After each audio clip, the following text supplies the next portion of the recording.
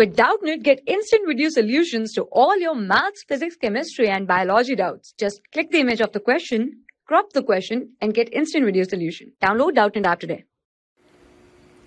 Hello everyone, let us start this question. This question says we need to find the solution of y dx minus x dy equals x square y dx. We have four options. First option is y times e power x square that is equal to cx square. Second option is y times e power minus x square that is equal to cx square. Third option is y square times e power x square equals cx square. Fourth option is y square times e power minus x square that is equal to cx square.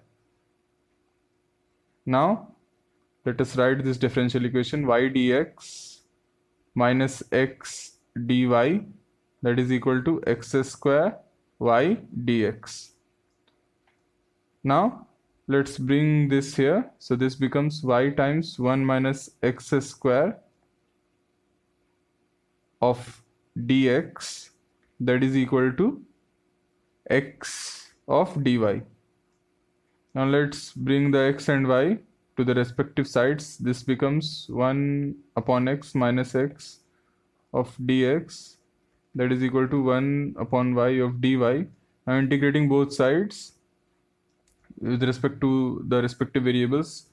This becomes log of x minus x square upon 2 because differentiation of x square upon 2 that is x and differentiation of log x is 1 upon x that is equal to log of y plus a constant. So we can take this constant as log of c.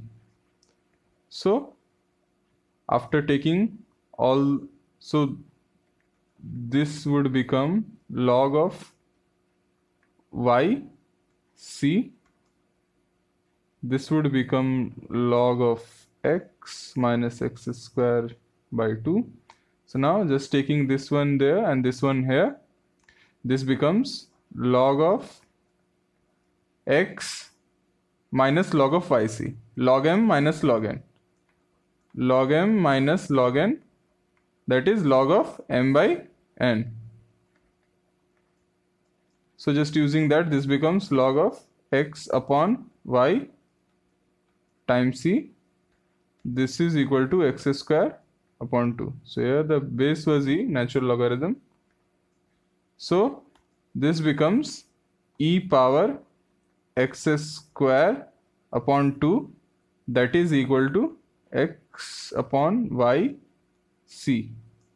Just squaring just squaring this relation just squaring it this becomes e power x square that is equal to x square upon y square times c square which is nothing but y square times e power x square that is equal to x square. Now 1 by c square is another constant so we can just write it as a constant k. So this is the final solution y square times e power x square that is equal to x square times a constant. So this option here is the correct choice. Thank you. For class 6 to 12, IIT JEE and NEET level.